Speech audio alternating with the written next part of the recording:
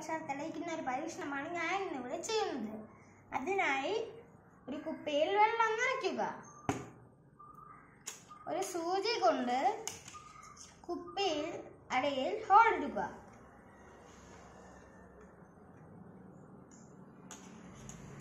ഇപ്പം വെള്ളം താഴേക്ക് പോകുന്നില്ല. കുപ്പി തുറക്കുമ്പോൾ വെള്ളം താഴേക്ക് പോകുന്നു. പൂട്ടുമ്പോൾ വെള്ളം നിൽക്കുന്നു. ഇതിനു കാരണം വാട്ടർ പ്രഷർ ആണ്.